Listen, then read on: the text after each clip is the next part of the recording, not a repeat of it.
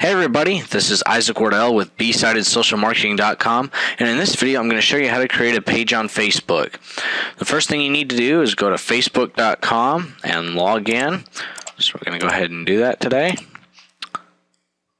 When you log in, you will see your profile.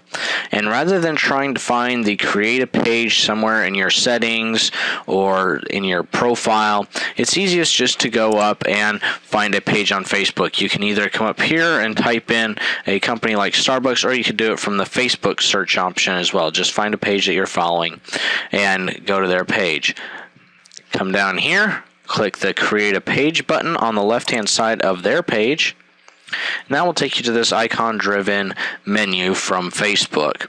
Now you're going to want to select the one that best fits your company. Today I'm going to choose a brand or product and I'm going to choose a uh, brand or product category of tools and equipment. We're going to create a brand for Anderson Tools, a company I've just made up off the top of my head. Got to agree to the Facebook terms. Uh, you can review these if you want. They say things like uh, you are authorized to create this page, etc. Go ahead and click Get Started.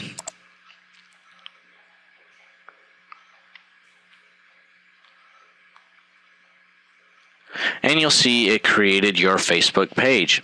That's how easy it is to create a Facebook page on Facebook.